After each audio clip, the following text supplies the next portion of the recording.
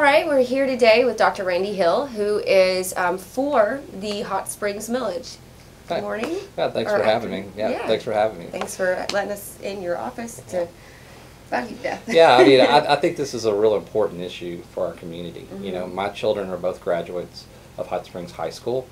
And people, when they hear millage or taxes, the automatic thing is to recall. And I understand that. We need to be good stewards of the monies that are placed in our education system. Right. But there's some needs that are very apparent there.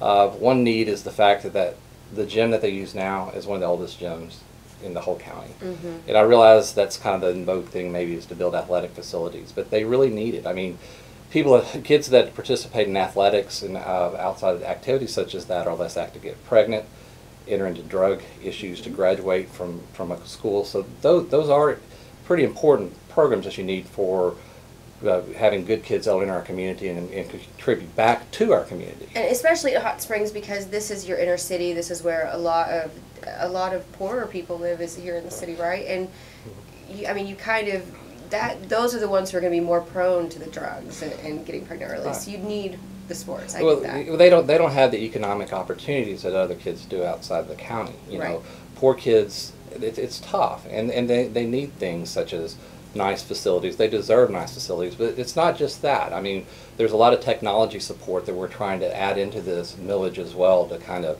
You know, get us up to where we need to be. Uh, Right. And there's going to be classroom spaces uh, added to this facility, and it will allow us to do things like right now we only have one indoor gym over there for those kids to, so we can't do basketball and volleyball at the same time. The cheerleaders can't be in the same facility. It's old. If you go in there, it's hotter than the devil. Even in the even in the winter time for games, uh, it's filled to capacitance. Uh, there, there's a need there. This is not something that's capriciously done. Secondly, there's some debt service that's involved in this millage. So, all the people that are concerned about debt, we're addressing that.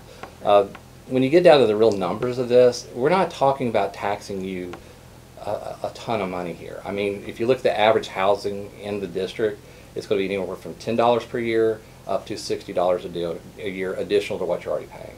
And to me, that's that's an investment that's worth paying for our kids. You know, that's an investment that you know if that keeps one kid from going to jail, how much is it going to cost to jail that kid? If that keeps one kid from not being able to graduate, they Mhm. stay there, they participate, and they graduate. That's going to help our community far more than the nickel and dime savings that we may achieve by not passing this millage. Right. So truly, truly, I mean, what they're saying is it's only to be ten dollars to sixty dollars a year added onto your property tax. Is Right, that as, what as you add the mills to it, and that's the average. You know, you can go back and obviously if you got more expensive housing, it's going to be a little bit more.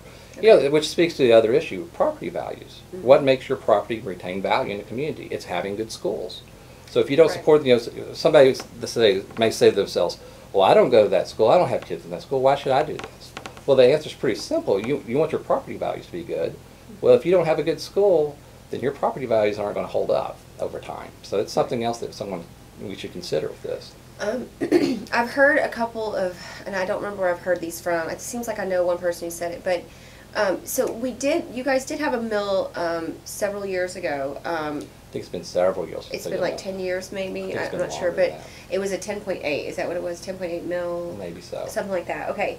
And then someone said that out of that money that had been raised, like a, a million dollars, like turned up missing. Do you know anything about that? I'm not, I don't know anything about that. I could tell you that there's independent audits that are done every year. My wife sits on Uh-huh. the school board. Yeah. Every penny is accounted for. Right. There's so many myths out there about the school district. Yeah. You know, there- there was a myth back in the day that they got all the money from the breakage at Oaklawn. I don't know if you've ever heard that or not. I grew up here, that supposedly if you bet, you know, a, a horse paid three twenty, or they paid three dollars and five cents, the, and, you know, they're only gonna pay three dollars on that horse, and the extra five cents went to the school district. That's, that's one of those urban myths. And I- Please, Oaklawn, Oaklawn keeps their money. yeah, I know. But I mean, there's, there's a lot of urban myths and there's a lot of Mhm. misinformation that go out on these items. I mean, Right. there's nobody rolling around in, uh, you know, fancy cars at the Hot Springs School, School District. I can assure you that. You know, we have the highest free and reduced lunch program uh, mm-hmm. in the county. You know, and you know, we, we feed a lot of people that would go without meals otherwise. Mm-hmm. You know, and I think that's money well spent. You know, and if anybody's got an issue with that, I'd challenge you to turn away a child that's going to miss a meal because because of that Yeah. you know, and that, and we need the money for those reasons. We, we've got a new superintendent hired. We have an excellent IB program. We graduated a president.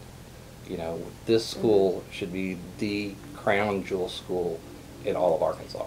Um, speaking of the new superintendent, tell us a little bit about Mike Hernandez. Mike Hernandez, uh, he was a great guy. He uh, was up at the Arkansas School District. I mean, was working for the uh, Department of Education. Mhm. Good background. Uh, was a superintendent in a little smaller community.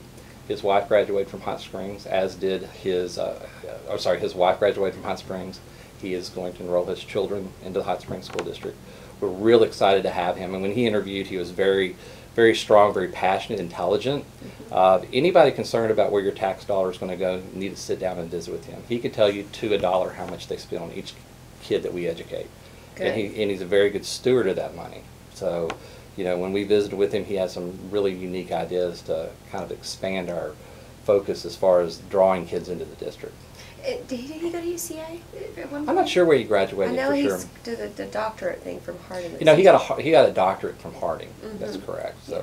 I'm not sure where he did his undergrad. I'm a UCA alum, so No, I got you. I slept since then, so I'm not sure. we had two other really good candidates that, uh, and it just speaks to the, the quality of his his job performance that he was hired. Because the other two candidates, I promise you, can go somewhere else to get a job tomorrow. They're Right. wonderful. So we have a new superintendent. We're looking for a little bit of help within the community here to make Hot Springs High School. Let's bring it up to code. It needs to come up. Let's fix a gym, and that's Well, basically yeah, what you and I think I think it, it's like I say, this needs to be a point of pride for our city. Um, Mhm. You know, again, uh, when you look at the grand scheme of things, it's it's not that much money. It's not that much sacrifice. That money is going to be returned to you back in the, the property values that would increase being in a good school district. And I would encourage everybody to please consider to get out there and vote for this millage. It's hard to vote for taxes. I Yeah. totally, totally get that. Yeah. But as such, we have to prove that we're good stewards of those taxes. And I promise you we are. I mean, this million dollar missing thing, I've never heard That's just what I've heard, and that's why I'm asking you because you would probably know more so or Well, know something I- about I- it if you'd heard. So. Well, I, I would encourage anybody that has a question to that extent, by all Yeah. means, you know, address it. Mhm. You know, but I could promise you that there's audits that occur every year, you know. Okay. Ten to sixty dollars doesn't really sound like a big Per deal to year, me. no, no, and particularly if the next time you get your property, you know, you go to sell your property and the price has gone up. Oh, and another question. With this millage, um, is there a set time limit on how long this millage is going to be? I'm, I'm not hundred percent certain. I need to go back and reread that aspect of it. Okay. Um, oh, and is there a website that our people can look and look at the, The Hot Springs, actual bill? I think the Hot Springs School District, uh, if you go to their site, I don't know if they have the actual, uh, specifics of it on there, but I know that there's some pamphlets and some information that we'll be happy to make available to anybody that wants to review them. Okay. All right.